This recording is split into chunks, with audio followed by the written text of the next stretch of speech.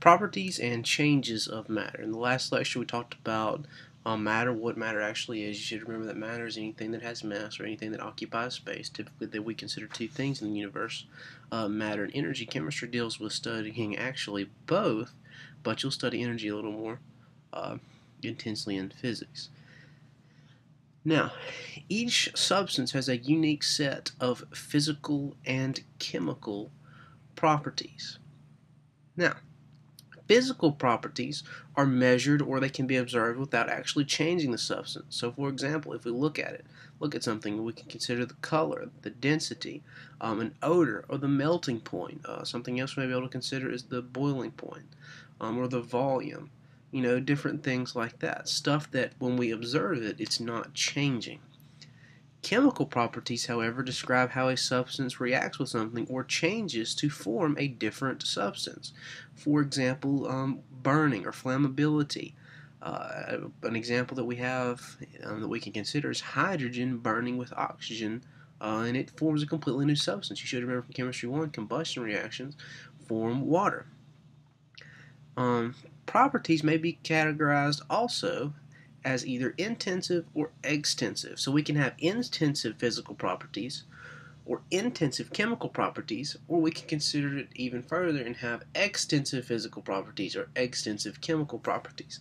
Now, an intensive property or intensive properties do not depend on the amount of substance present. For example, if we take the temperature of something, it doesn't matter how big of um, a cooking pot we have, if we're taking the temperature of something on the stove, stove, it's going to be the same no matter if you put it in a big pot or a little pot when you're cooking.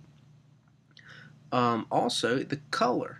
The color's not going to change. If you think of a gold ring, a gold ring still is going to have that yellowish um, tint as well as a big gold bullion bar. Uh, melting point is also something, and boiling point, those are two things that we can uh, consider as intensive.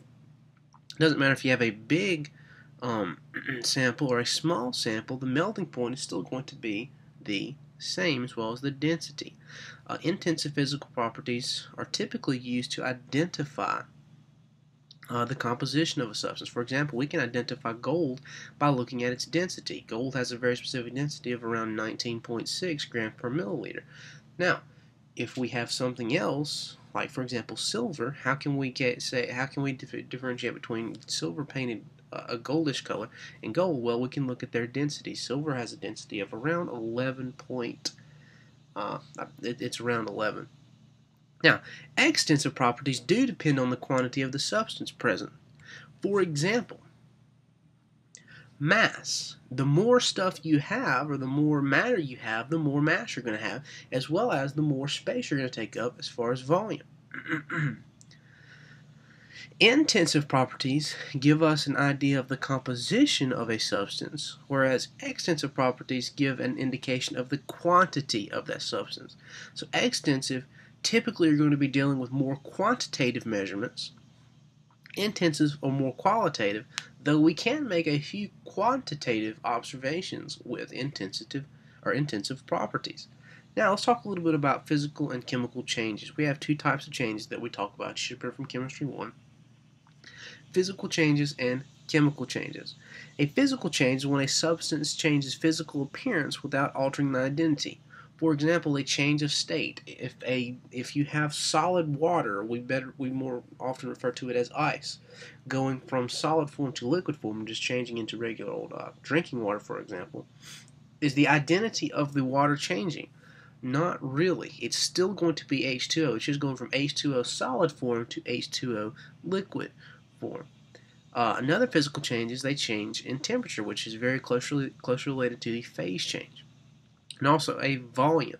If I have a glass of water, and if I pour more water into that glass, did anything change chemically? No, it's just the physical amount that was actually there changed. Now, a chemical change, we sometimes refer to it as a chemical reaction, results in a completely new substance, or the substance transforms chemically into different substances. The atoms rearrange in bonding. Uh, for example, the decomposition of water, or the explosion of uh, TNT. That changes the shapes of the molecules. Now, I have a chemical reaction example right here.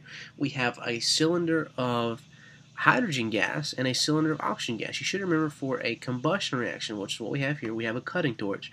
For a combustion reaction, we must have a uh, fuel, which is what the hydrogen is, oxygen, and we must provide an ignition source. Remember, oxygen is required for all things to combust.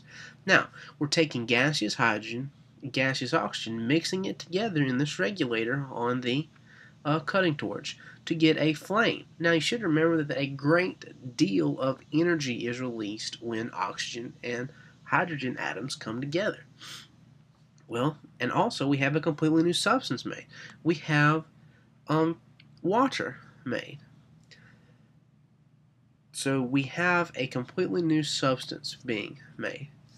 Uh, compounds can be broken down into more elemental particles. This is another example of a chemical reaction. We're breaking down a compound. We have water molecules and we're actually breaking them back down. So this is kind of a reverse reaction from the previous slide, or is the reverse reaction from the previous slide. We're breaking those compounds down. Remember, a compound is made up of two or more uh, pure substances, or two or more elements. We're breaking those compounds down into its simpler, simpler elemental forms. Um, this is referred to as hydrolysis. It's a form of electrolysis, which we will study a bit later. Uh, should notice here that the water molecules, uh, two hydrogen, H2, and then an oxygen, these are called space filling models, by the way, uh, are being bonded together. Then, after an electric current has passed, it decomposes or breaks down into its elemental forms. Now, again, why is oxygen? Why does oxygen have two elements? And also hydrogen have two elements? Well, it has to do with them being um, diatomic. All right, let's talk a little bit about separation of mixtures. The key to separating mixtures or separating things apart, I mean, you know, in chemistry we want to study these changes and specific, sometimes we may want to study a specific portion of a uh, system that we're investigating in lab, and that may call for us to separate. The key principle in separating mixtures or separate of separation techniques is to exploit the difference in the properties of the different components. For example, distillation takes advantage of different boiling points. Um, we have salt water in our first flask here. What happens is we boil that water. What happens when you boil water? Well, it turns from a liquid to a gas. That water vapor travels up into the top of this, um, it appears to be a Florence flask, or a distillation flask rather, then it condenses back down into this side outlet. And then it further becomes a liquid by going through this condenser jacket, or what we typically refer to as a Liebig condenser in college. Um, it's cooled by water, so it cools that gas down back into the liquid form and is collected. The pure water is collected. Now, how do we get this set? Why, how, why does the salt stay and the liquid water come uh, to the receiving flask? Well, salt has a much higher boiling point than water. You should remember at room temperature, uh, solid is typically, unless it's in solution, typically going to be a solid. Now, in order to take that from the solid form, we're going to have to take it to the liquid to the gaseous form, which we're going to talk about phase diagrams. But salt being an ionic compound, and we're going to talk about um, intermolecular forces a little bit later and bonding. But salt being an ionic compound is going to have a very high boiling point, especially being made of both um, sodium and chloride ions. Okay, so the salt stays behind in the flask. Water is received in the receiving flask.